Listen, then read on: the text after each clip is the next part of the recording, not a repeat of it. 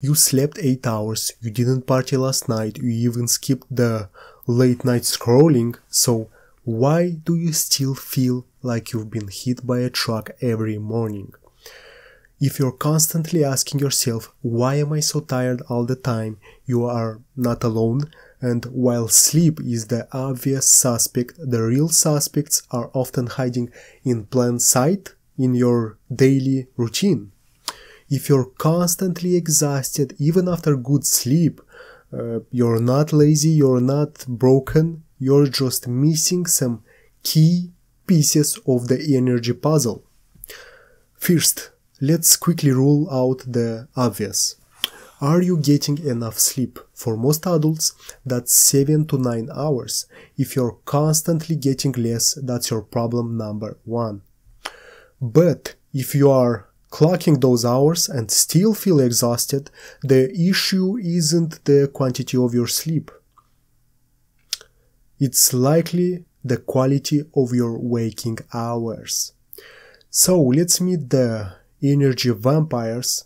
These are the hidden habits that are secretly sucking your energy dry. So vampire number one, the blood sugar roller coaster that muffin and latte for breakfast, they cause a massive spike in your blood sugar, giving you a quick boost of energy, but uh, what goes up must come down.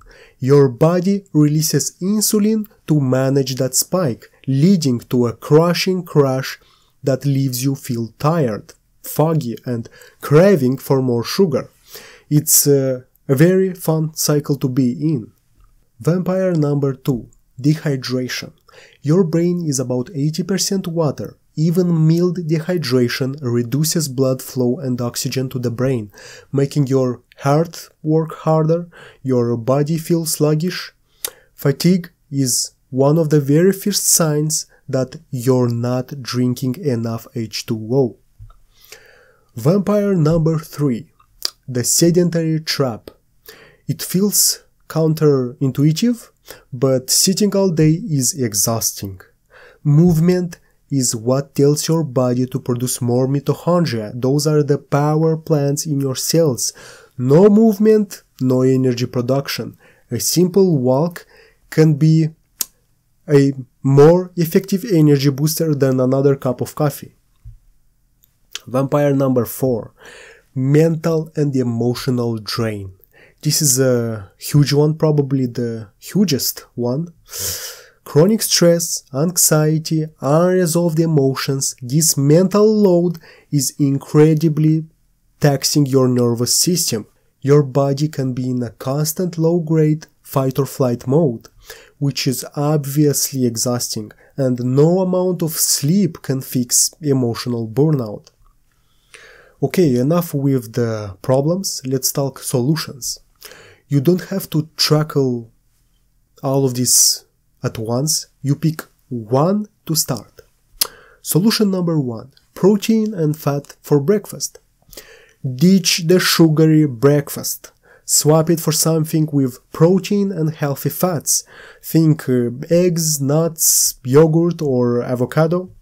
This provides slow burning, stable energy that prevents those catastrophic crashes.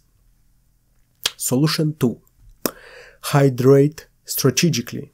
Get a large water bottle and keep it on your desk. Aim to finish one by lunch and another by the end of the day. If you're bored of water, add lemon, cucumber, or mint. Solution 3. Movement snacks. You don't need a 2 hour gym session. Just break up long sitting periods, set a timer to stand up and stretch for 2 minutes every hour. Take a 10 minute walk after lunch. These movement snacks add up to big energy dividends. Solution 4. Check your mental fuel. Ask yourself, what is draining me? Is it a person, a job, a habit, your phone by the way? Can you set a boundary? Can you talk to someone? Even 5 minutes of journaling or meditation can help declutter a stressed mind and release that pent up tension. Feeling tired all the time is your body's signal that something is out of balance. It's not a life sentence by looking beyond just sleep and investigating your fuel, your hydration, your movement, and your mind, you can start to reclaim that energy. Start small, try just one of these tips this week and see how you feel. Your energy is your most valuable currency invest it wisely.